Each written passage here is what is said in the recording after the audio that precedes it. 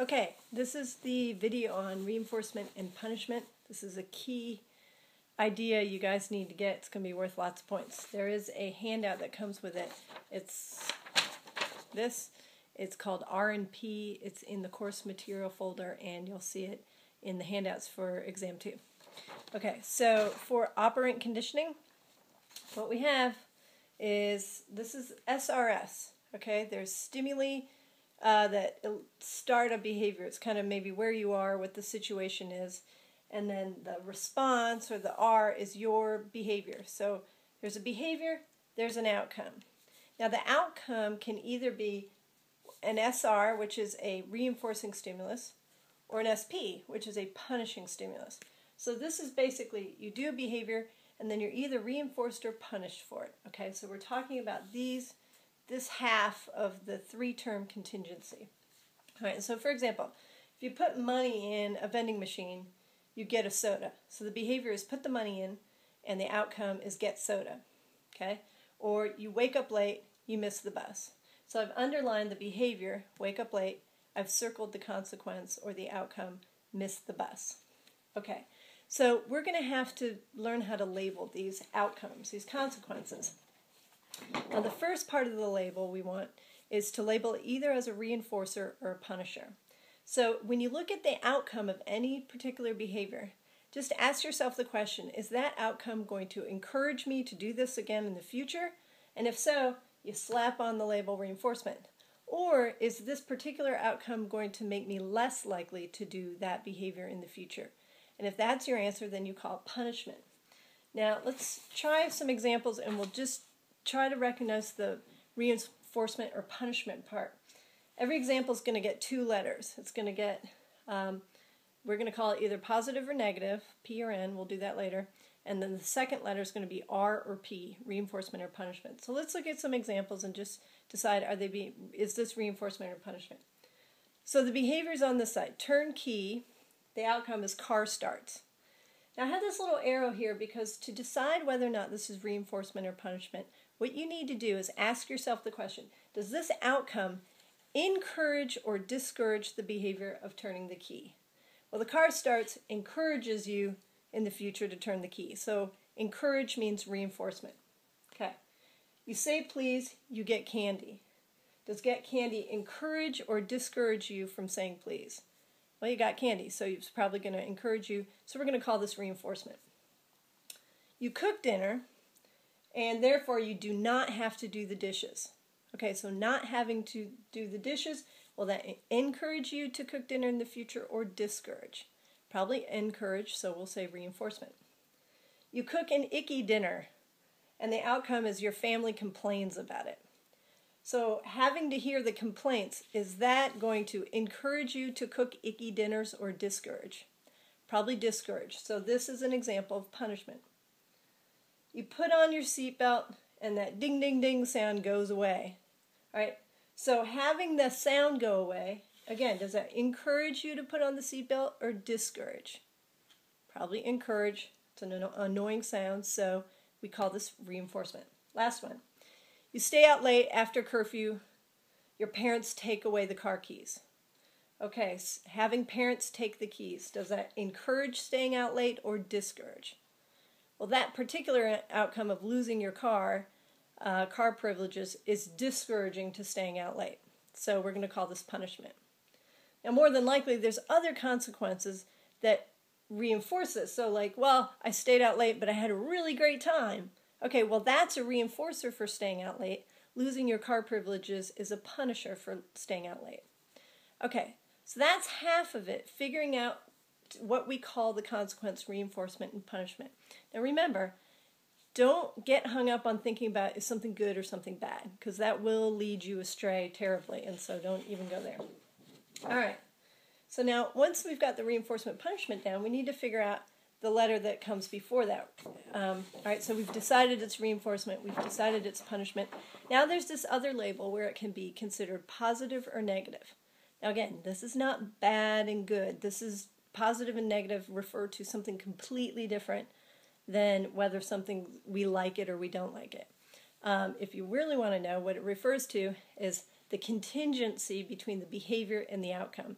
So if a behavior causes an outcome to occur, we call it a positive contingency. If a behavior prevents something from happening, we call it a negative contingency. And there's some negative contingencies we would really like to do. I would like to do behaviors that avoids me getting fired from my job. You would like to do things that avoid getting an F in a class. So there are negative contingencies that we like very much, okay? So negative is not bad. It just describes something else. All right, so to decide this, we have to go back to our behavior examples and ask, now when you're doing this part, forget about the behavior, only look at the outcome and ask yourself, is the outcome something that is added? Something happens. I have a little plus sign for addition, add. And if it is, we call it positive. We just stick that label on it. We already decided if it's reinforcement and punishment. Now we want to say, is that outcome something that was added to the world? It's happening now and it wasn't before. Then we'll, we'll label it positive. Or is the outcome something that was taken away, subtracted? It didn't happen, it was prevented. Okay? We have a little minus sign for subtraction, subtracted. Little minus signs like negative. So it gets the negative label if the outcome is removing something. Okay, so let's look at our examples again. And we had already decided reinforcement and punishment, but now we want to decide is it positive or negative. All right, so you turn the key, car starts. We said that's reinforcement. Now, just look at car starts. Is that something happening, something added, something that wasn't there before? Yeah, the car's running now. It wasn't there before. So we'll call it, it's added, it's positive. So that was positive reinforcement. Get candy. We said it encouraged saying please, so it's reinforcement. Now just forget the please, just look at candy. Get candy. Is something added or taken away? Added. It's positive. It's positive reinforcement. Cook dinner. Do not have to do the dishes. We said that was reinforcement. Now, is something being added or taken away? I don't have to do the dishes. The job of doing dishes was removed from me. So this is negative, and it's a negative reinforcer because we already said that encourages the behavior. Negative reinforcement. Let's see. Family complains. We said that discouraged, it punished cooking something gross. Um, but family complaints. Has something been added or subtracted, taken away? Well, they weren't complaining before dinner, and now they are. So we've added complaints that's positive. So this is going to be positive punishment. The noise goes away. Well, there you go. It went away. it subtracted. So this is negative. Now, this was one that encouraged seatbelt use, so it's negative reinforcement. Last one parents take the car keys. Okay, something was removed your car keys, your car privileges. So it's going to be negative and of course, we had already said that discouraged staying out late. So this is an example of negative punishment. Okay, that's the key to these, but you have to practice. So going to grab my sheet. Uh, take your sheet, your handout. I emailed it to you and it's on Blackboard. Take a minute, pause the video, do a few of these, and we'll troubleshoot a couple. Um, but remember, just ask the questions it says, and when you get to the negative positive part, just cover up the behavior, don't worry about the behavior, only look at the consequence. That label, positive and negative, only applies to the outcome, has nothing to do with behavior. It's a place a lot of people get confused. Okay, so go ahead, take a break, and do a few of these and come back. Okay, I'll assume you did some. And let's just look at a couple. Uh, let's look at the first one, all right, so police officers are pulling people over and giving them a prize if their seatbelt's buckled. Now, what is the behavior here that has a particular outcome? It's having your seatbelt buckled, the behavior. The outcome is you get a prize. Now, it tells you seatbelt use increases. Well, that's the definition of reinforcement that some, an outcome makes something more likely to happen. So, this is reinforcement, and they're getting a prize, so it's positive reinforcement.